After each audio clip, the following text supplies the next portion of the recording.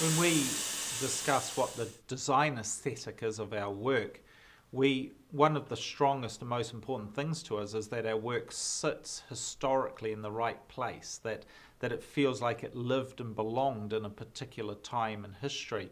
Even if it may be a totally fictitious and fanciful story, for the actor to feel like they belong and for them to portray their their place in the story, we feel it's very important that likewise the props and the swords and the armour and the weapons that they use should sit comfortably in that period.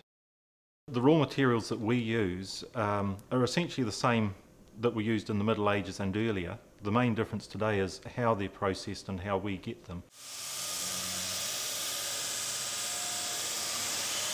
The process of designing a single weapon or uh, you know a blade uh, is very much a collaborative one because we have a group of half a dozen or more designers, and usually at least two or three of us will be working on a job together.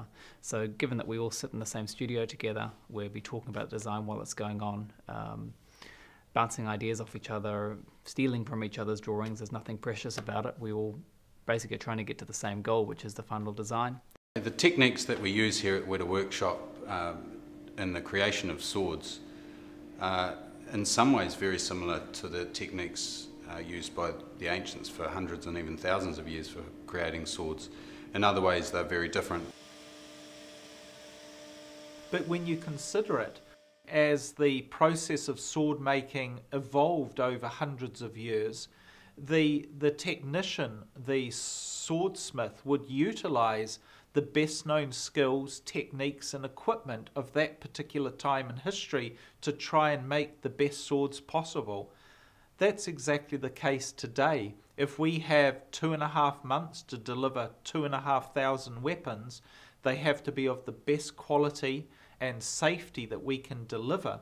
Then we are going to use all of our known technologies and each, even reach further into technologies we yet haven't discovered and explore ways that we can create more superior product.